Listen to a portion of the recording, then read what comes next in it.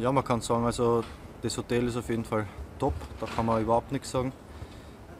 Trainingsplätze genauso sehr gut. Am Wetter haben wir Glück gehabt. Hat eigentlich von Sonntag weg bis, bis heute, bis Freitag nur Sonnenschein. Also können wir wirklich glücklich sein, dass das so gewesen ist.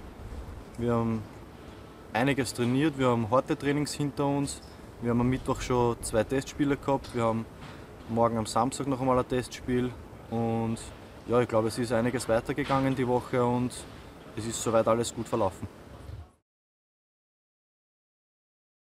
Na, es ist auf jeden Fall nicht die schönste Zeit, aber es ist wahrscheinlich die wichtigste Zeit in der ganzen Saison, weil in der Vorbereitung hast eigentlich Kraft holen und Kondition holen und von der kann man dann die ganze Saison lang zehren und man sieht ja immer wieder, es hat Vorbereitungen gegeben, wo ich zum Beispiel angeschlagen war oder nicht alles mitmachen können habe.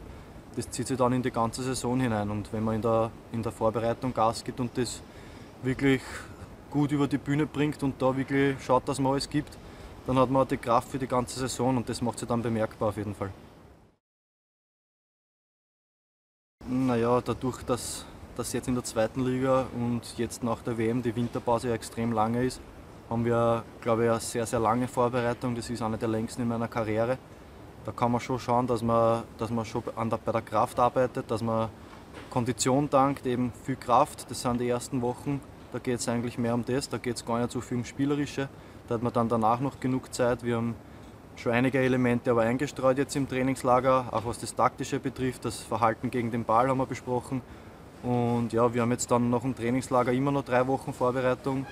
Und ich denke mal, dass man da dann schaut, dass man spritziger wird, dass man so kurze Intensitäten hat und ja, dann auch, dass da das Spiel mit dem Ball noch forciert wird und dass wir dann fürs erste Spiel natürlich top vorbereitet sind.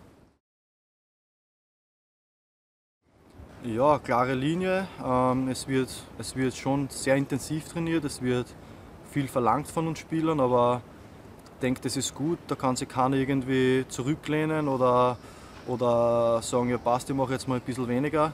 Es wird von jedem Spieler 100% eingefordert und ja, wir haben einen relativ großen Kader, also der Konkurrenzkampf ist auf jeden Fall schon voll eröffnet.